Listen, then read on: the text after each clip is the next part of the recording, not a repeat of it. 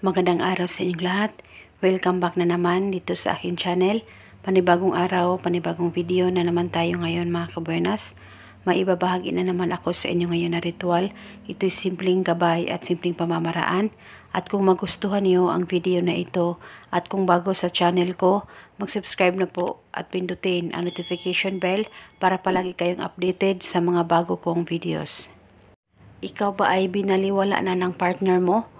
Wala na ba talaga siyang pakialam sa'yo? At nararamdaman mo na parang hindi ka na niya iniisip at hindi na ikaw ang laman ng kanyang isipan. Gusto mo ba mga kabuenas na maging okay at maging maayos kayong dalawa ng partner mo?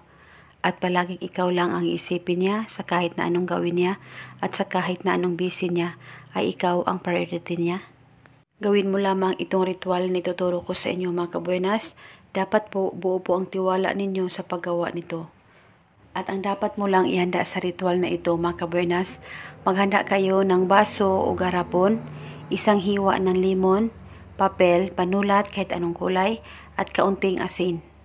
At ang gawin nyo lamang dito mga kabuenas, isulat mo sa papel ang pangalan at apelido ng partner mo ng pitong beses at pagkatapos ay ilagay mo ito sa garapon o sa baso na inihanda mo. Pwede mo tupiin at pwedeng hindi tupiin. Basta malagay mo ito sa baso o sa garapon. At pagkatapos ay isunod mong ilagay ang isang hiwa na limon.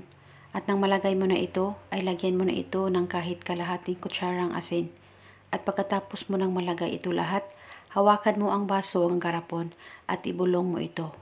Pangalan at apelido, ako lamang ang isipin at priority mo palagi. Pitong beses mo ito ibulong mga kabuenas, pwede mo dagdagan ang hiling wala pong problema. At pagkatapos ay pwede mo na itong itago sa damitan mo sa ibabaw ng inyong kabinet, sa drawer, o kung saan safe na walang makakakita at makakaalam. At huwag niyo po itong takpan. At gawin itong ritual sa kahit na anong araw o oras. At itago mo ito hanggang kailan mo gusto. At kung may katanungan po kayo, mag-comment lang po kayo sa baba. At ito muna sa ngayon mga kabuenas. Maraming salamat po sa panunood. Hanggang sa sunod ko pong video. May God bless us all.